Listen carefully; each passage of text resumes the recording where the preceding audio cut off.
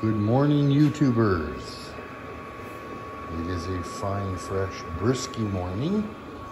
It is outside zero degrees Celsius, which is 32 Fahrenheit. Uh, I just wanted to give you an update. It is, uh, this garage is 22 by 21.6, so whatever square feet that is, uh, that would be 400 and something, would it? Um, it, it is, like I said, zero. It is 18 degrees inside, so I don't have a thermometer here. I'm gonna have to get one, but just uh, if you uh, take the inanimate objects, you know, showing 18.8. I've set it. It's already dropped to, it's dropping to low range. It took half an hour and it warmed this place up. Now, it wasn't, I have to add, it wasn't uh, zero degrees in here. It was about 12 degrees in here when I started. Um, I'm just hoping and thinking it will be okay, but I'm gonna have to keep this garage, you know, 15 to 18 degrees. One, because there's a little addition to the family, a little pup. Uh, she's going to be sticking around in here during the day. I'm hoping that this will be able to keep it warm enough um, for her. And up here, I live in northern Canada, and we get to, uh, up here, I'm not far north, so we'll get to minus 25 to minus 30 as an average in the winter which is for you Americans, that is my, um, negative about 12 to about negative 22 Fahrenheit. Um, pretty regularly through January and parts of February. That's a pretty regular weather up here. So as you can see, it's keep it, it's going down now to almost fully low mode. I'm I'm actually utterly impressed. It's doing well, fairly quiet. Um, the reason it's really quiet, I've got it really quiet, is I've uh, got the, I took out the pump and I've got it wrapped with some foam and uh, foam in a, in a small, uh, really small towel. And then I noticed that the tank was forced you'll hear now pump really loud. You hear it? As soon as that tank hits the front like that, transfers all the noise into the body because the tank sits up between the pump and the. Uh, so all I did was notice when I push it back, it quiets right down. So all I do is wedge in this cushion right in here and it uh, quiet as it makes it super quiet.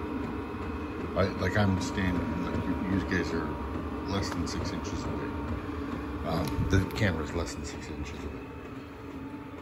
At that, full low mode. I don't know. This is pretty cool. I think I'll be okay. I'm gonna find uh, also a barricade for for for the pup so that the pup doesn't get hot. Uh, burnt on the exhaust pipe. I think it'll learn its lesson the first time it comes close to it, but, and I don't want it to knock it down. I'm gonna build a better stand for it. I'm just debating what kind of stand. I actually would like to pull a, a uh, probably build a cart. If I could find an old welding cart or something similar, I think something that only has these two, put the battery and the heater on top uh, or make myself one, I'm going to do that. Because I think this is the ideal, something similar to this. I'm, I'm not sure.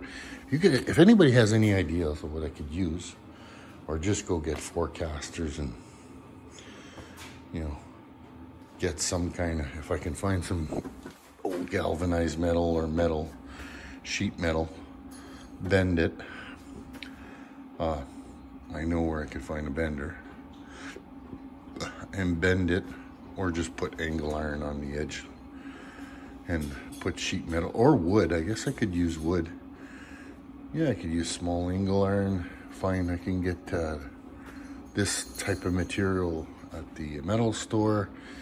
Put four casters and build a little bit wider base for it so that I could mount it up, bolt it up, and then I can wheel it around. And uh, when I put it away, I can put it away in the corner, just wheel it back there. Take, I just take, when I pull the exhaust pipe out, I just bend it straight up and down. Uh, so that it's kind of a compact unit.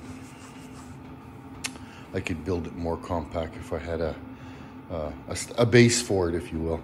But anyway, so far, throwing lots of heat. Consumption is really, really, this has ran at least four hours and it, I started on three quarters of a tank, so about here. Um, and that's about, I'd say, a liter, liter, two liters I burnt, maybe, liter and a half. Um, I'm gonna do a consumption evaluation. We'll, uh, you know, we'll measure it out. We'll run it, uh, you know, we'll do a measurement. I'll try to figure out exactly what here to here is. Uh, like we'll add a liter or exactly two liters and we'll measure where it was and measure where it is. I'll put a little uh, Sharpie and we can burn it till it hits the line and get a pretty decent, especially if it's gonna be minus uh, negative, uh, you know, 20, it'll be easy to figure that out. A couple hours probably will give us, will give us the answer. Um, but so far, I'm liking this little heater. It's gonna be a great little heater. I'm gonna design something for my uh, my uh, utility trailer, which I kind of also use as a uh, camper. I've got windows in it and uh, battery solar set up. I got a counter in the front, but that will, I use it in uh, fall and spring. And uh, when it's cold, I'd like to use this. I'm thinking about, you know, suspending that, putting it somewhere, and then bringing in either the exhaust through the wall. I hate putting a hole through the wall. I'd like to prefer go through the floor, build something through the floor, and then inside have a, a vent that kind of spreads throughout the entire unit. So, I don't know if anybody has any ideas, plop it down down below. But uh, anyway, just a little bit more updates on these uh, Chinese diesel heaters so far. I've been utterly impressed. Um, I like the all-in-one unit for this reason right here. That's a little cleaner than if I had to build a unit.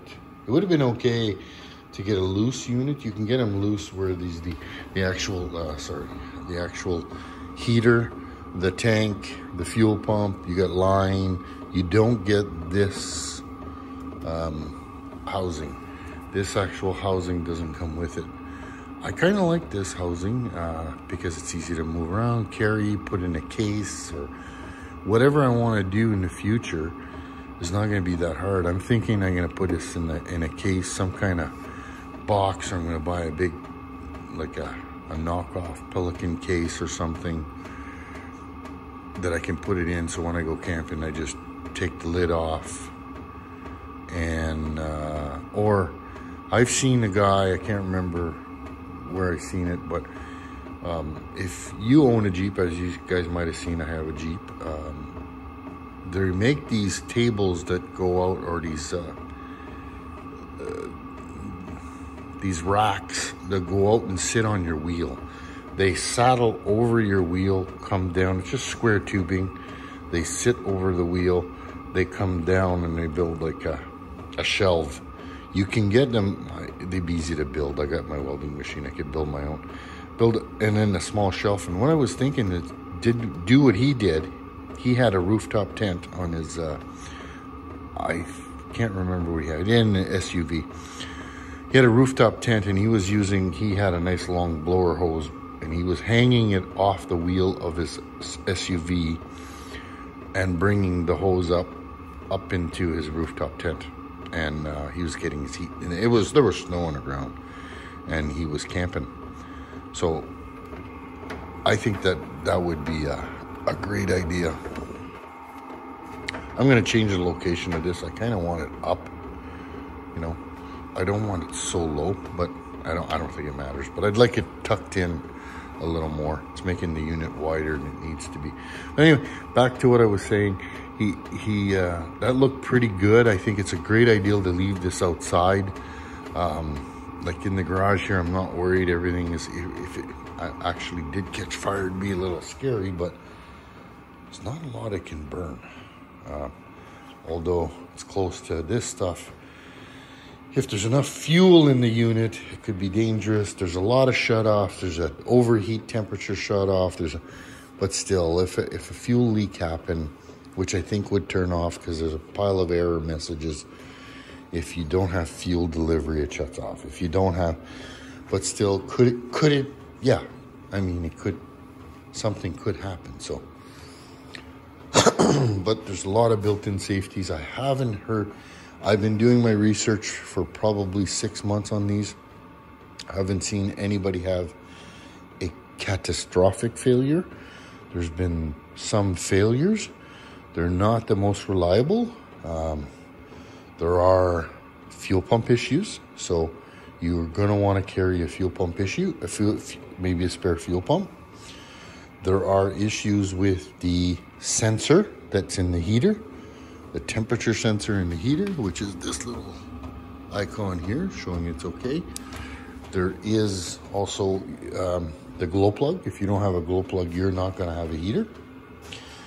Uh, and the glow plug usually is from uh, carbonization, so dirt. It gets dirty. The unit gets uh, dirty from probably burning fuel like this. I will get dirty quick.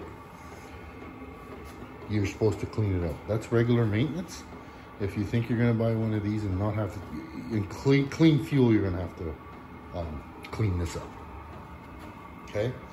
So you're going to have to take apart the there's lots of videos on it. Take apart the glow plug. Take apart the heating unit. Take apart the glow plug. Clean the glow plug. Clean the little screen. You can buy kits so I would buy a maintenance kit. I will be buying a maintenance. I'll, you know what? I'll do a complete video on that. I'll do a full when it's dirty. It's probably in the next month or so. I figure I'm going to need to do this. I've I've ordered spare screens. I'm going to have a spare fuel pump. I have a little extra fuel cable. I have. We're going to clean that filter out there if it needs it. I don't think it'll need it in this environment, but in an outside environment, potentially that would get a little dirty. And then we're gonna clean out the burner. We're gonna clean it out, uh, do a little video, show how I'm gonna do that. But for now, we're getting the heat we want. Please give me a thumbs up if you like the video. If you find this information good, I'll try. If there's anything that anybody wants to see or, or let me know, and I'll uh, put it, if I can do it, I'll do it. All right, thank you. Have a good day.